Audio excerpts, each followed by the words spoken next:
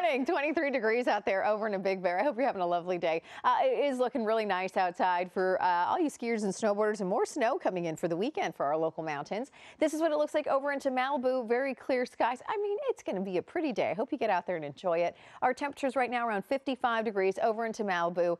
And then you head out the door and you're going to see uh, temps get up to about 51. Los Angeles, Anaheim, all looking good. 46 degrees out there into Ontario. A little cooler there. And it's cooler out in Woodland Hills, 43. So here's how it goes as we get into your afternoon. We do have a ridge of high pressure that's going to be building on in here uh, today. So it's nice. It's like a big ridge, a canopy. It's a blocking mechanism. Doesn't allow any of that cold or wet weather from coming on through. So our temperatures are allowed to warm up a little bit. We're back to 69 degrees for Los Angeles. We're going to see those temperatures climb into some 70s for Inland Empire Valley communities today. Then tomorrow it's down to 66 degrees with a little bit of a chance of some drizzle returning to the forecast for the morning. And then we wait for our chance of rain. Here's our mid-latitude cyclone. Here's our atmospheric river, and the atmospheric river is going to be pulled in and then uh, transported right towards Southern California.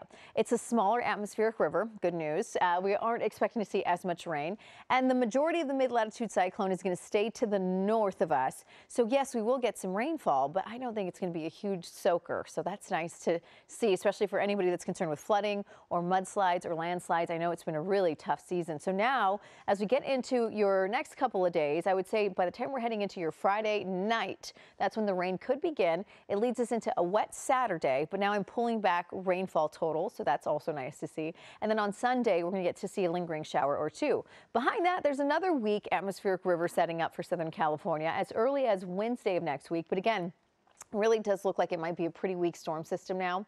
And then one right behind that on Thursday, also looking like a pretty weak storm system. Even though there are storms coming in, it is appearing that they are getting a little bit weaker as our season gets a little farther into your March and then April eventually.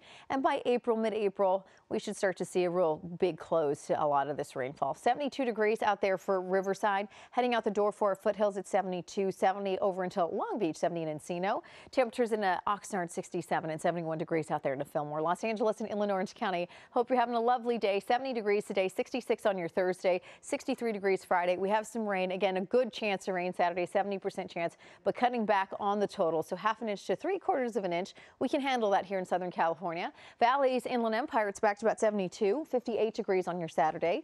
Overnight lows into the 40s. I think most of your Sunday should be nice and pretty. And the coastline, it's going to be right back to 64.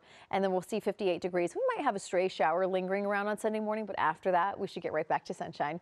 Hello, I'm Mark Brown. Get more great ABC7 content by clicking the subscribe button for our YouTube channel and download the ABC7 Los Angeles streaming app on Fire TV, Android TV, Apple TV, and Roku to watch on your TV.